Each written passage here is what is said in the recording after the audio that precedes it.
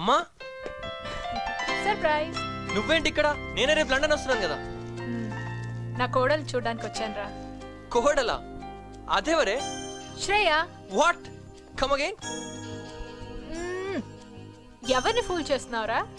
Mom I don't understand all this what ఎక్కడో లండన్లో ఉన్న నాకు అర్థమైంది.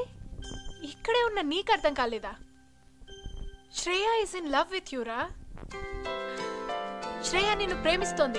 నన్న శ్రేయ తనే ఎన్ని ప్రాబ్లమ్స్ ఇక్కడ దాకా ఉంది తెలుసా? తనే నీ మీద ప్రేమలో ఇక్కడ దాకా ఉంది. తెలుసా? ఏంటి నీకు చెప్పిందా?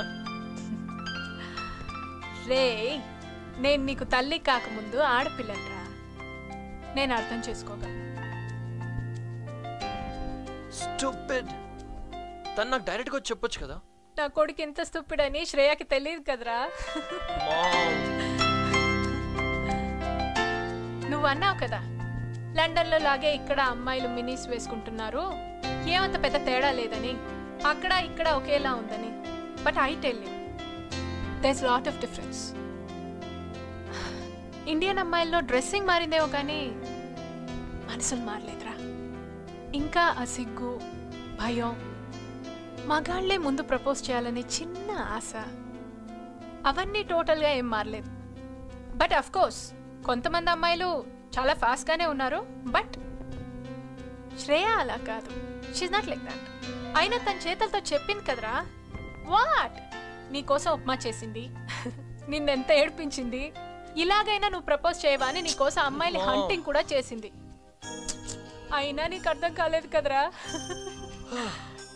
అవును ఆ రోజు నీ పక్కన కూర్చుని ఫోన్లో నాతో ఆంటీ శ్రీను పక్క ప్లేస్ నాదే కదా అని ఎవరో అమ్మాయిని బెదిరించి పంపించిందా లేదా? What does that mean love కాదా my God my shit what a fool I been mom చాలా అర్థమైందిరా నీకు Oh, mom, please.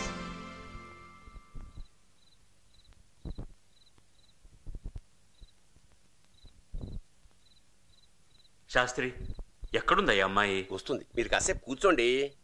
ఆంటీ? మూడున్నర అయిపోయింది శ్రేయ ఏదే?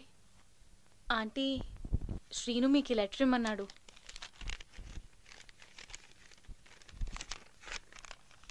సార్. శాస్త్రి గారు నేనే. శ్రీను మీకు ఈ లెటర్ ఇమ్మన్నాడండి.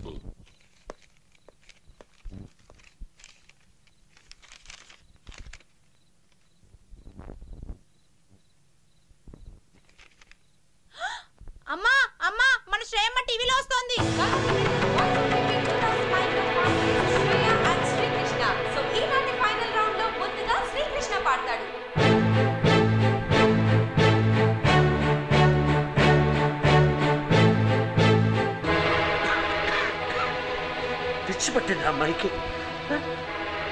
చెన్నై ఆడిషన్ ఎంతో ఇంపార్టెంట్. తెలీదా? ఇన్నాళ్ళు పడ్డ కష్టం అంతా ఉంది కాసేపు మాట్లాడండి. నాకు శ్రేయ కన్నా మీ టెన్షన్ ఎక్కువగా ఉంది. మీకు దండం పెడతాను మాట్లాడకండి. అలా మాట్లాడకుండా ఉండనయ్యా. ఎంత మంచి భవిష్యత్తు దాని. మనం ఆడిటోరియం దగ్గరికి వెళ్ళి అమ్మాయిని తీసుకెళ్ళి తిన్నగా చెన్నైకి వెళ్ళిపోతున్నాం అంతే ఇంకా. ఇంకా మాట్లాడదు నువ్వు అసలు. మీరు ఆవేశపడకండి. మీరు ఊరుకొని చెప్తాను. ఒకప్పుడు నాకు జరిగింది మళ్ళీ శ్రేయకు జరగకూడదు. అమ్మాయి చెన్నై వెళ్ళి తీరాల్సింది అంతే